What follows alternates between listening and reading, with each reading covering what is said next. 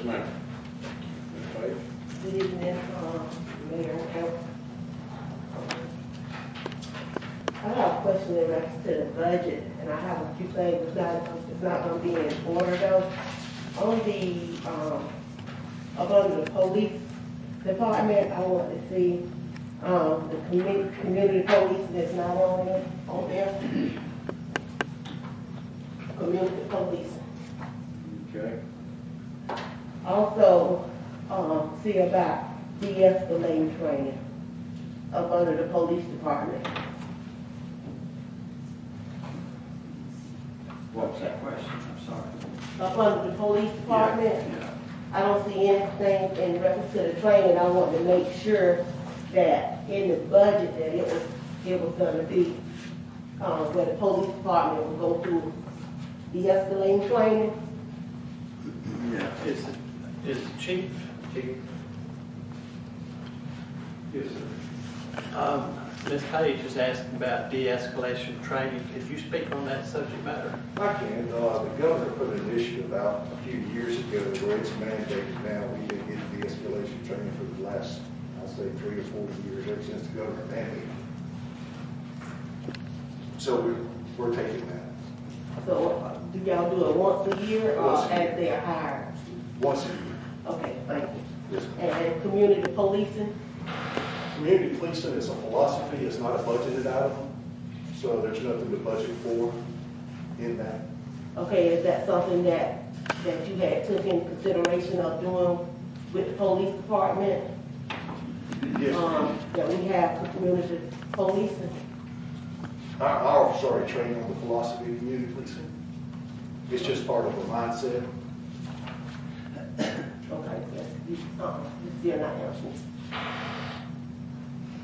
At one, at one point, when we had a meeting, it was asked that the police department, if we could have community policing in the neighborhood, or wherever it was gonna be set up at. Is that something that need to be budgeted, or is that something that No, ma'am, you're, it's not a budgeted item.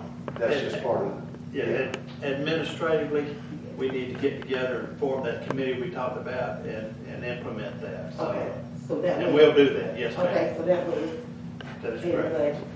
The next thing I have is, um,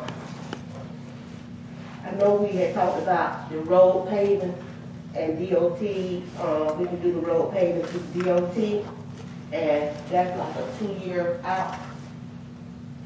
And being that we have, have streets and roads in such horrible, horrible shape at this moment, why do we have to wait those two years out to- in order to do the paving of the streets? I, I just, I don't think you probably heard me. I apologize. Uh, Okay, I'm sorry. Instead, we, we generally been paving between four and five hundred thousand dollars a year. And we had all our roads, we had an engineer come in and rank all our roads according to needs. And we've taken three years' worth of those needs and we're gonna pave it, uh, probably in April or May when we bid all that out. Okay, because I looked at the road paving and, and like on our, on Ninth Street, from forty-one all the way down, we need paving. It's just like when you, when you're up on, um, Pine Street, Pine and Six, you got the big pothole there. And then right there on Fifth, you got the big pot. So as people complain about the pothole, uh, knocking the alignment out, then only thing y'all been doing is just coming, just filling it in, and then it's washing back out.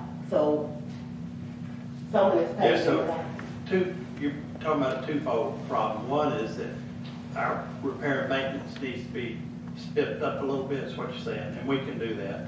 But again, we're gonna pave one and a half million dollars worth, resurface one and a half million dollars worth of roads. And I think that'll help greatly what you're talking about.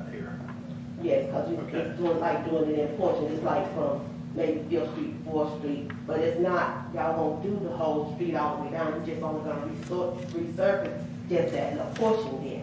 But some of the streets are so horrible that they need it all the way down, and I, I just don't think that we should, um, wait two years on that. We're not gonna wait two years. Okay, now, um, up under,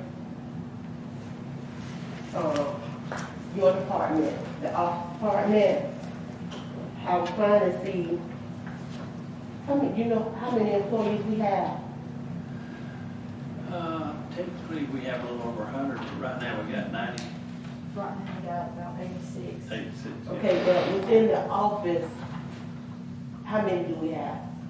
In our front office? Yes, from the front office and the off, I guess it's, it's sep- it's separated, so how many do we have here that's on, on salary?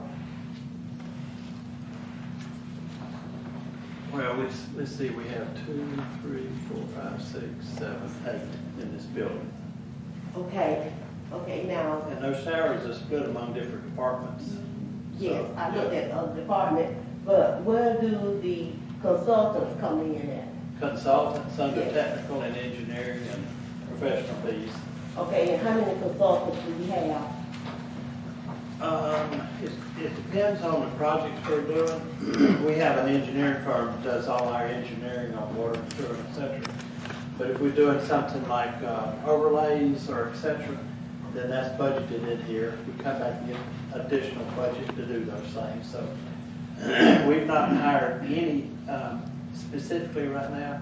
We are gonna put out a RFQ for, uh, them to take a look at the city hall, if we need to expand and when we need to do it, and then, or if we need to build something new, so that will be administered by our engineer.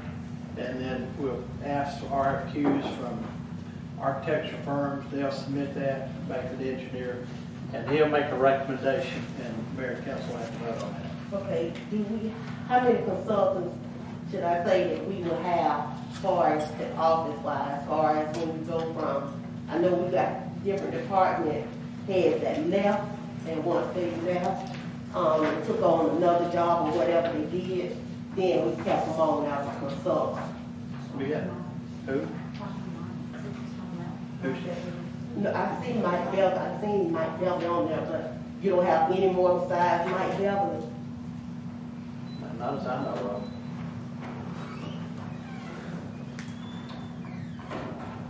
Okay. I don't wanna Not, call no, no not names. yet, ma'am. I don't wanna call no names because that's why I'm asking. Okay. I don't think so. So you have none that's, I can't think of any Miss Altheia. okay, as far as the gas department, do we have a consultant there? We have an engineering consultant, yes. And also an electric, uh, and the water and sewer, those are typically engineers. Okay, now the ones that we have as consultants that took on other jobs, are we, are we paying, paying the insurance for them or where they have to come in every so often or do we just pay for their insurance? Um, Now, if we hire consultants, they bill us straight up, we don't pay for their insurance in the city, they do. No, not one that you hire. Okay, Mike Beverly used to be full-time, and then he went part-time. Okay, so we had, um, like our, um, electric department, he left. Yeah, Okay, is he, is he a consultant? no, Okay, so that's what I'm asking, with the different departments that we have, and we have someone to leave that position, and they went, like, say that they retired, and then they went on somewhere else, if we was gonna keep them on as a consultant, will we then carry the insurance for them? no. uh, um, There's only been, fire chief left, Okay, we don't pay him anything. okay, uh, electric department guy left. We had, uh, guys from the treatment plant and the water left. We don't, and Tommy took treatment plant, water, and sewer, and street department. So we, we didn't pay any of them anything, so no. Okay, so, it'd be fair if I come by to see you next time with a name, and we can get together and see. Absolutely. Okay, that's all I have, thank you. Thank you. Any questions of the council? Any more comments from the, uh, general audience in regards to the budget twenty twenty-one? Go outs- You need to go outside and ask, go outside and ask.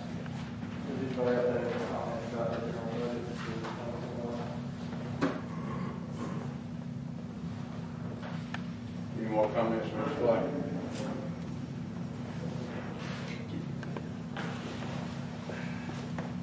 Mr. Blake, I don't know, sir. what is that?